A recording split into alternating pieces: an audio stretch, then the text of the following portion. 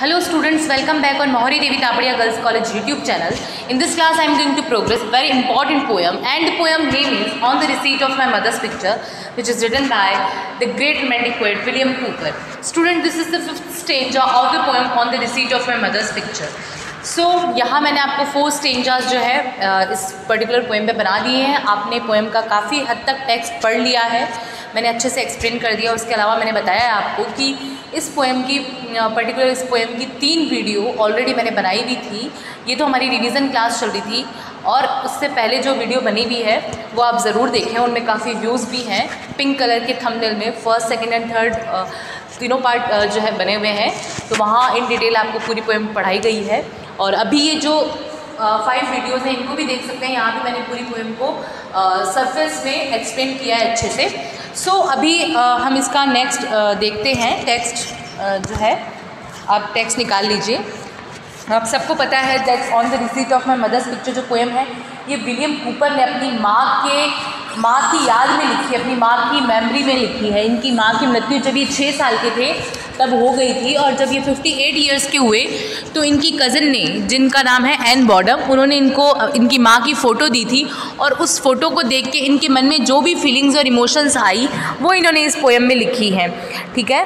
तो अभी हम यहाँ से पढ़ते हैं। Where tempests never beat nor billows road and thy loved consort on the dangerous tide वो कह रहे मेरी माँ जो है, वो उस जगह पे अभी पहुँच गई है। वो एक अनबाउंड स्पिरिट है।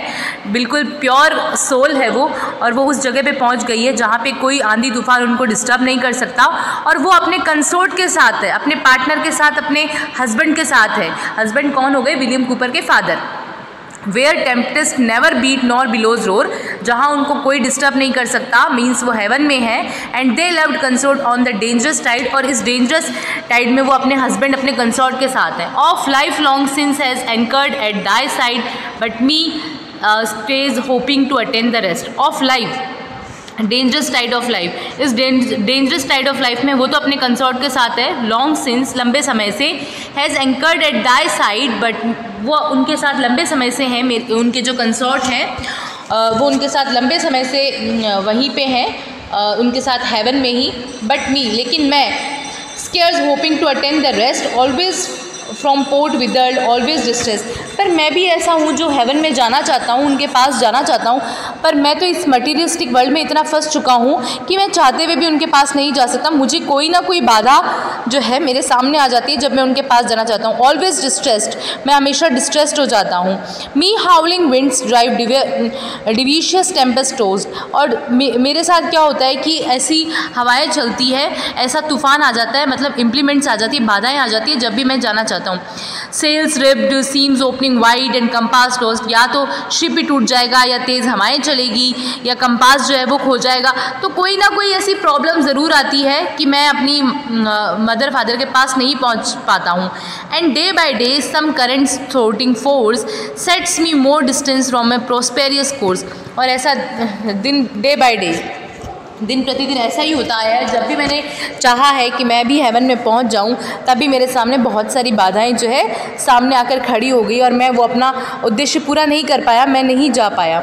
फिर है but O the thought that thou art safe and he पर कोई नहीं। मैं ये सोच के बहुत ज़्यादा शांति में हूँ कि मेरी माँ सेफ़ है अपने कंसर्ट के साथ वहाँ पर। मेरी माँ एंड ही आया है उनके फादर के लिए कंसर्ट के लिए। बट ओ दैट थाट मैं अगर ये सोचूं दैट दाव आर्ट सेफ़ कि वो वहाँ पर सेफ़ है एंड ही उनके कंसर्ट भी सेफ़ हैं दैट थाट इज़ जॉय तो ये थॉट मेरे लिए बहुत ज़्यादा जॉयफुल होगा। ये थाट मुझे बहुत ज़्यादा शांति प्रदान करता है कि चलो ठीक है, मैं तो वहाँ नहीं जा पा रहा हूँ, मेरे सामने तो बाधाएँ आ रही है। मैं इस भौतिकतावादी संसार में फंसा हुआ हूँ, पर ठीक है, मेरी माँ को मुक्ति मिल गई। वो अपने कंसर्ट के साथ में हेवन में है और वो वहाँ अच्छे से है और ये सोच मैं बहुत ज़्यादा जॉय हो जाता हूँ, खुश हो जाता हूँ। अराइव वॉट में what may to me my boast is not that I deduce my birth अब वो अपने जन्म को लेकर खुशी बता रहे हैं कि मैं बहुत ज़्यादा लकी पर्सन हूँ कि मैं इन माता पिता के इन माता पिता से पैदा हुआ हूँ। देखो arrive what may to me my boast is not that I deduce my birth मैं अपने बर्थ के बारे में बताऊँ from loins and third and rulers of the earth ना तो मैं किसी बड़े राजा महाराजा के यहाँ से पैदा हुआ हूँ, कोई लॉयन की तरह, शेर की तरह, साहसी जो है राजा महाराजा के पैदा हुआ हूँ, ना ही मैं इस रूल पे, इस अर्थ पे रूल करने वाले किसी राजा महाराजा के पैदा हुआ हूँ but higher far my proud pretensions rise पर मैं तो इन सबसे बहुत ऊपर जहाँ, इन सबसे बहुत ऊपर की ओर से आया हूँ। इस बात के लिए मुझे बड़ा ही गर्व है कि मेरे प्रिटेंशियस टाइज मतलब मैं ऐसे माता पिता से पैदा हुआ हूँ। ना तो मैं राजा महाराजा से पैदा हुआ, ना मैं किसी ऐसे शख्स के यहाँ से पैदा हुआ जो बहुत सांसी हो, है ना? ना मैं किसी ऐसे यहाँ से पैदा हुआ हो जो पूरी धरती पर राज करता हो। पर मेरा जो जन्म हुआ है, वो ऐसे माता पिता से हुआ है जिन पर मुझे गर्व है। बट हायर मैं उन सब राजा महाराजा या किसी से भी मैं बहुत ऊँचा हूँ। मेरा जन्म बहुत ऊँचा है। The son of parents passed into the sky मैं तो उन उन पेरेंट्स की सन हूँ जो स्काई में पास करते हैं। मतलब मैं उन प्योर सोल का बेटा हूँ, इस बात का मुझे बड़ा ही गर्व है।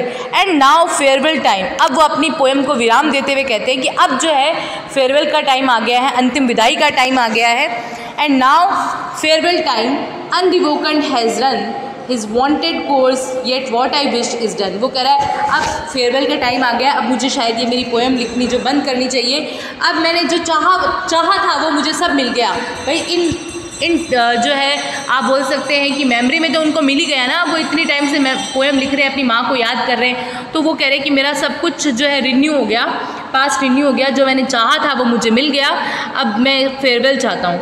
But by contemplation's help not sought in vain it seem have lived my childhood over again कि मैंने इस पोएम के थ्रू मेरा चाइल्डहुड को दोबारा जी जी लिया। My childhood over again means मैंने अपने बचपन को दोबारा याद करते हुए ऐसा लगा मेरे को पोएम लिखते हुए कि मैंने अपने बचपन को दोबारा से जी लिया। मैंने मेरी माँ के टच को मेरे माँ के किस को मेरी माँ की प्रेजेंस को दोबारा से फील किया जो कि मेरे लिए काफ़ी प्राउड भरा था।